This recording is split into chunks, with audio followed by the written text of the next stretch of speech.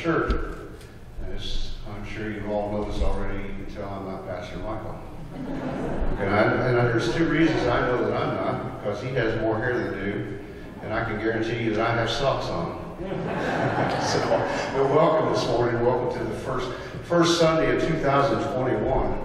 What a better place to be than in God's house, worshiping with, with Him this morning.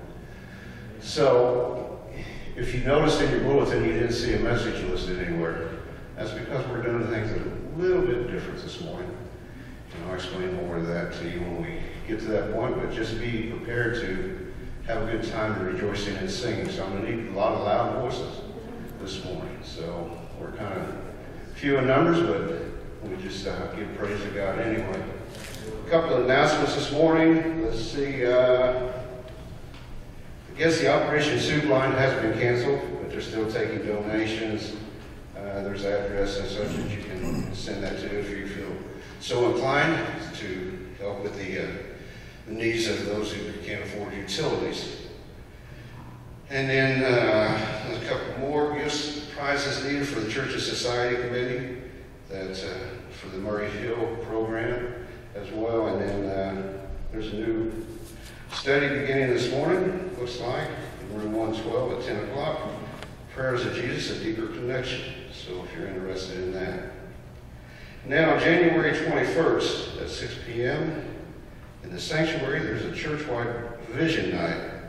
So I think it's, uh, Steve knows a little bit more about that than I do, so he may be able to explain that to you when he gets to joys and concerns.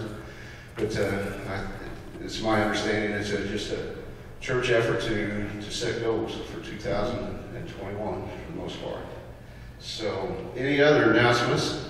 If anybody feels the need to, to talk to us about this morning, Charlene's not here. I see that we got February 16th coming up with the Operation Soup line over at Audubon.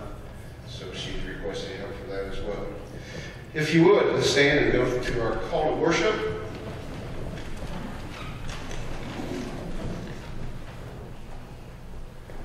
The grace of our Lord Jesus Christ be with you all.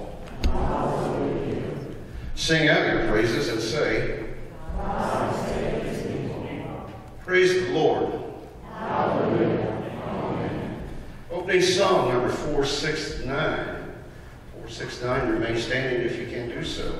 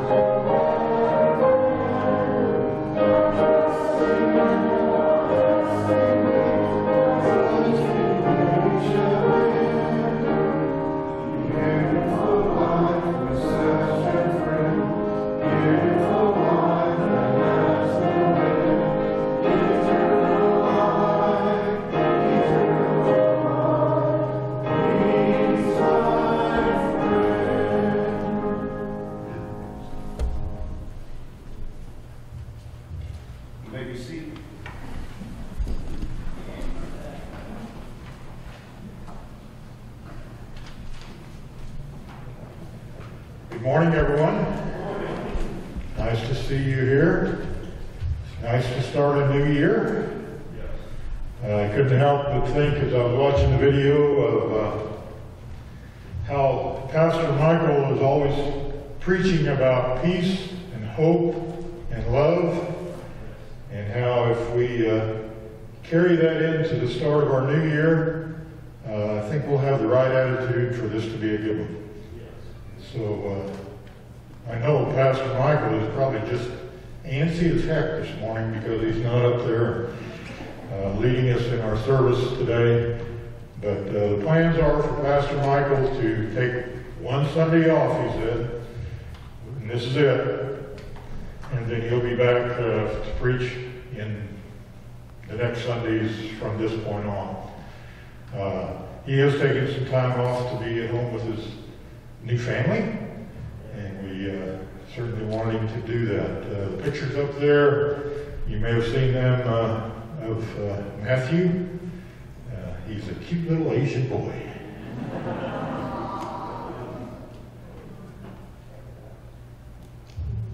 And uh, last report I got was everything was going well. Okay, joys and concerns. Time for joys and concerns. Uh, there are in your bulletin uh, prayer concerns. I want to especially uh, notice uh, Sue Roush Harrison passed away. Prayers for their family. Cale Hudson passed away. Prayers for that family as well. And Charlotte Zusi. You know, uh, losing loved ones is always tough, so uh, pray for the family. I understand that uh, Mike's having a little tough time right now. Mike Sutcliffe. So uh, Mike's been through a lot. Mike's one tough dude. But uh, he's got some infection, I think, in one of his leg, his remaining leg. Uh, so please include him in your prayers. Any other joys or concerns this morning? We're going to do this a little different. Paul tells me if I just hold the microphone close, he can crank up something, and uh, we can probably hear you as you give her joys and concerns, and I don't then have to repeat it and not get it all right. Well, my joy is that Monica's here, and I've been down to her place on Petra. But I want to bring the family of uh, Dora Alger. Dora Alger passed away yesterday, Monday, Friday, or Friday night. That's Debbie Alger. So Debbie Shields. Shields' mother, Dora Alger, passed away Friday evening, so uh, please keep them in your prayers as well.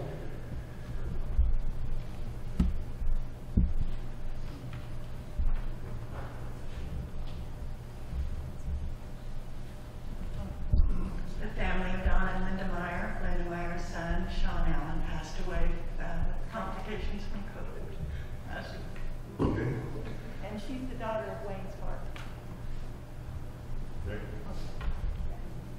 Not sure I got all of that, but uh, Linda Meyer's son passed away last week from COVID, and uh, please keep them in your prayers as well. I have a joy. I had a new great grandson born New Year's Eve. Another baby in the world. Other joys or concerns this morning? That's a beautiful sweater.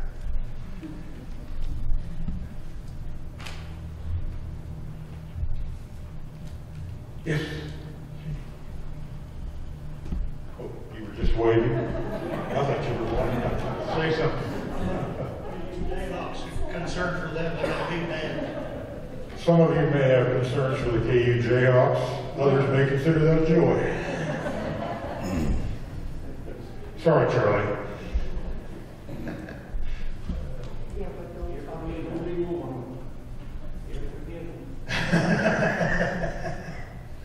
Charlie says I'm forgiven. A good Bible verse to remember or to look up on your own is, uh, for this new year is Romans 12, 12. Romans twelve twelve. Something to uh, read when you get home, or read in your pew there. Any other joys and concerns this morning? I have a loud voice, but um, we have a number of our members that are at Country Place, and they are now quarantined to their room for two weeks. So just pray for them, and that all will continue to stay healthy. Um, and then my mom will understand why she can't go roaming about, and that she's supposed to stay in the room, because that's, that's a hard concept for her, because she's, um, likes to go socialize, which she's not supposed to. So. Yeah, that's tough, uh, because that's a big part of their life, is getting out and visiting and going and eating together and everything. So, And also, uh, as we start this coming week, schools will be back in session. And uh, please, please uh, pray for all the school staff and the students, and that we can start school off and be healthy and safe. Because uh, we know the best place for those kids is in school with uh, people who care about them and, and want to help them uh, grow and, and live a good life. Any other announcements? Any other? Oh, uh, you mentioned the, the vision meeting. Yes. Uh, there is a vision meeting coming up. Uh, I'm sure Pastor Michael will talk more about it uh, next week and the week after. It is on uh, January 21st. And uh, we, uh, the SPRC and, and Pastor Michael set some goals when he came. And uh, one of those goals was to increase our attendance, which COVID has uh, really uh, put a little bit of a damper on that effort, but to increase our membership. And I don't know whether you've been paying attention or not, but we've been getting a lot of new members. Some of them are sitting right back here with us. So uh, that is certainly uh, a result of a focused effort on Pastor Michael and, and others to uh, attain those goals. So we want to set a vision about where the church needs to go, and uh, we want to engage people in that process so that we're all kind of paddling in the same direction. And uh, so there will be a meeting on uh, January 21st to talk about that. Okay, I think that's it. As we think about the joys and concerns that's been lifted up to us this morning, let us also remember that uh, we need to pray for our government this next year, pray for uh, our nation. It's going to be it's, going to be a time of healing, I do believe, and I think that I thank God that uh, we know in the end who's going to win. So we don't have to be concerned about day-to-day politics. We just need to be concerned about our, our walk with Jesus Christ. So as we go to the Lord in prayer, please just keep those things in mind. Father God, we thank you. We know that you are Lord of Lords and King of Kings, and there's none greater in all heaven and earth. And we thank you for this opportunity to come worship this morning, to be in your house, to be in the sanctitude of, of your love and your grace and your mercy. And we just thank you, Lord, for those in attendance. I pray this morning that uh, you would just touch their hearts, their lives, and just lift their spirits. The requests we've heard, Lord, I lift them up to you, the sorrow of, of lost ones. It's never easy, but with you by our sides, Lord, we can make it through. And then the joys as well. It's always, it's always wonderful to bring new life into this, this world, and it's wonderful to celebrate that, that joy of new, new babies. Father, we just thank you for that. We thank you for all the many blessings that you give to us each and every day. We thank you for your love and your grace. Just pray now that uh, as we start to, to pray your prayer that you taught us, that you would just uh, hear our hearts and our minds and, and listen to what the words we speak, Father. Our Father, which art in heaven, hallowed be thy name. Thy kingdom come, thy will be done, on earth as it is in heaven. Give us this day our daily bread, and forgive us our trespasses, as we forgive those who trespass against us. And lead us not into temptation, but deliver us from evil. For thine is the kingdom, and the power, and the glory forever. Amen. This morning, as I told you earlier, this is uh it's going to be a little bit different service. When I was a young man and a child growing up in the Nazarene Church, we used to have these services every once in a while where congregation got to participate. That's what's going to happen this morning. So, as I say, we're few in numbers, but you need to just lift your voices to Jesus Christ and to God above and, just let him hear you sing his praises this morning because what's going to happen is you're going to, you're going to hear scripture and then there'll be a short summary of about that topic that uh, when God loves God's love for us, and then, then we're going to be singing a song as well that goes along with that. So just uh, I pray this morning that somehow, some way, either through the scripture or song or through the music, that you just you get blessed and that you just re- receive God with an open heart this morning. Matthew 22, 36 through 38 is a scripture that uh, most of us are familiar with. And it's one when the Pharisees and the Sadducees were questioning Jesus, trying to trap him, and they asked him, Lord, uh, teacher, which is the most important commandment in the law of Moses? Jesus replied, You must love the Lord your God with all your heart, all your soul, and all your mind. This is the first and greatest commandment. The second is equally important. Love your neighbor as yourself. That's 39. It was, I don't think it was on your screen, but it's, it's an important part of that passage of Scripture. Our love for God must be sincere, not only in word and mouth. Jesus is, uh, in this passage of Scripture, saying to us that if we truly love Him and want to serve Him, our love, our love for Him must be displayed by what we do for and how we treat others. There is no greater love for us than God's love. And the profound thought of God's love for you should begin and end your day. Page 170, How I Love Jesus. We're not going to stand up on this one or any of these because you don't have to. But we may the last one. But one page 170, if you want to follow along on the screen, all three verses. Oh, how I love Jesus.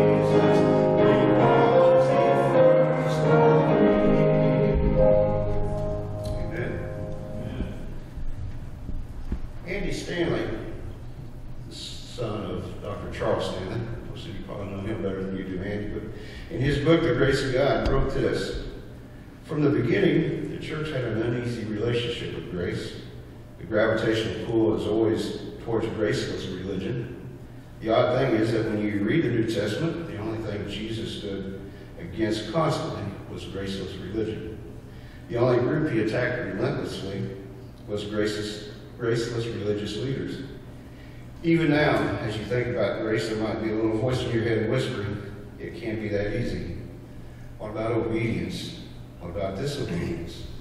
What about repeated misbehavior? What about bad habits? What about justice or repentance? It's these tensions that makes grace so slippery. But that's the beauty and the truth of grace. We don't deserve it. We can't earn it. It can't be qualified. But God gives it to us anyway because he loves us unconditionally. Hebrews 4.16 speaks of this grace and says this, So let us come boldly to the throne of our gracious God. There we will receive his mercy and we will need find we will find grace to help us when we need it most. And that's the most wonderful thing about grace is the fact that uh, you know when uh, it's there when we need it, and it's there when we don't need it. There's times when God just gives us grace because He loves us that much, you know, and we have to be able, be willing to accept it and to recognize it and thank Him for that. Page 378, what a, a better song to sing about grace and amazing grace this morning. So, uh, 378, we're going to sing verses 1, 2, 3, and 6, I believe. Yeah, 1, 2, 3, and 6. So.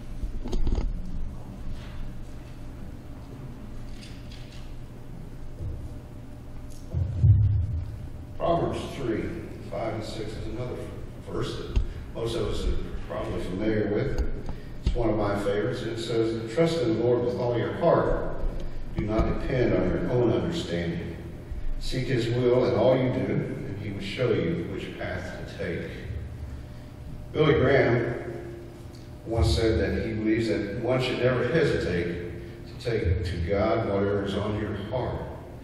He said he already knows it anyway, but he doesn't want you to bear its pain or celebration in its joy alone. And he also said that about trusting God that he says, my prayer today is that, uh, that uh, we feel his loving arms wrapped around us and we will know in our hearts that he will never forsake us if we trust him. It's very essential in our walk with God that we do place our trust in him in all of our life's decisions, big or small. And we need to look upon him for all things. We need to believe that he will make the best decision, the best choices for our individual needs. And I know that God is the master of my life, and I, I know I need to trust him in all things. And I feel that, I hope that you feel the same way, but also I know that I have a tendency as a human being to sometimes give it to God, and then I fail to trust him to do it right. And I try to take it back and do it myself. You know, and if that doesn't work. God, when we give it to him, we just need to leave it to him. And let, however long it takes to get the decision, to get the answer from your prayers, God's got it. He's going to handle it. So we just need to have faith that He will He will see us through and that He will supply every need that. Page 467, trust and obey, verses 1, 3, and 4, or whatever's up on the screen.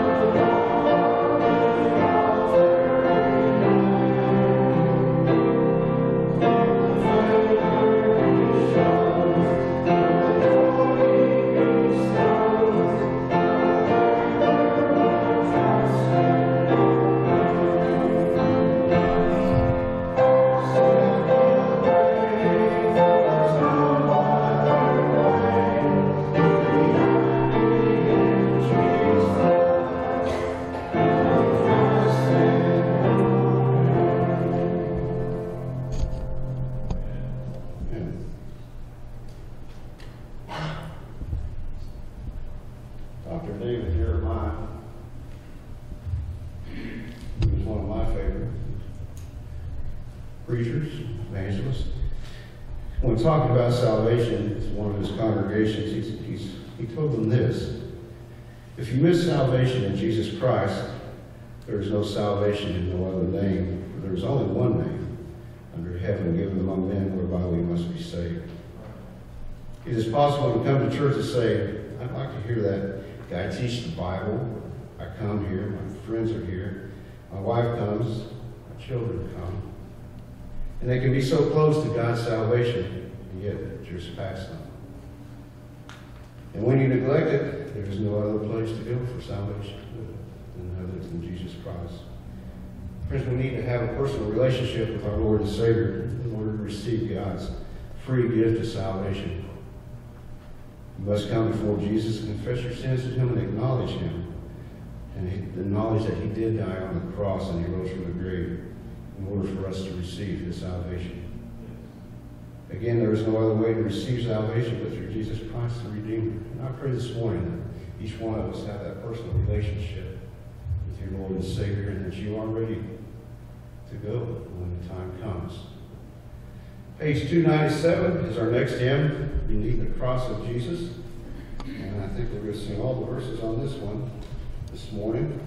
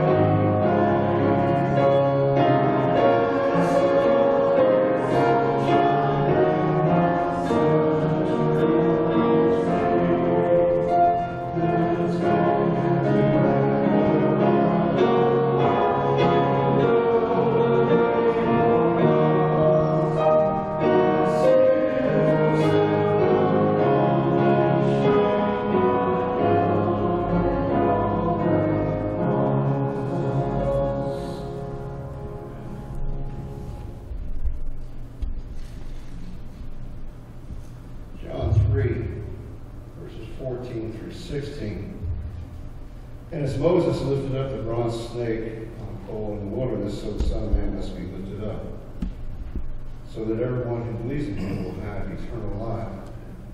For this is how God loved the world. He gave his one and only Son, so that everyone who believes in him will not perish, but have eternal life. And I want to read verse 17 it's on the screen. But God sent his Son into the world not to judge the world, but to save the world through him.